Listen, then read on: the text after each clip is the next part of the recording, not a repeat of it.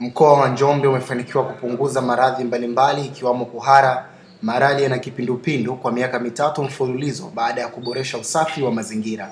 Kupungua kwa maradhi hayo pia kumesaidia kupunguza vifo vya watoto wadogo na mama wajawazito kufuatia kupungua kwa magonjwa hayo na yale ya njia ya mkojo UTI na minyoo. Mkoa wa Njombe ambao mwaka jana ulitoa wilaya bora kwa usafi wa mazingira, ujenzi wa vyoo bora na matumizi kwa asilimia 97 bado unaendeleza utamaduni wa usafi.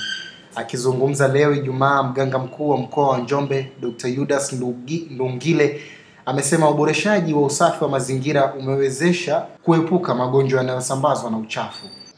kwa ajili ya ufuatiliaji wa usafi wa mazingira katika mkoa, na pia wanaweza hata kutumia wanatumia pia fedha za ndani kwa maana ya on source katika halmashauri zao kwa ajili ya shughuli hizi za usafi wa mazingira, na tunavyoboresha usafi wa mazingira kwa maana matumizi safi ya vyoo, usafi wa mazingira ya nyumba zao, hii inatusaidia sana kuepuka magonjwa ya milipuko. Kama tunavyofahamu kwamba katika miaka miwili hii kumekuwa na na, na, na na milipuko ya magonjwa ya kuhara hasa kipindupindu.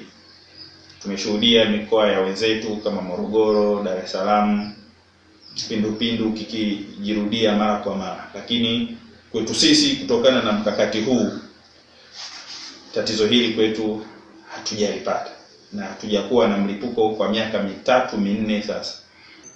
Aidha, Dkt. Ndugile amesema kujitoa ndio silaha pekee ambayo viongozi wa ngazi za mkoa, wilaya na vijiji walitumia ili kufikia malengo walionayo kwa sasa.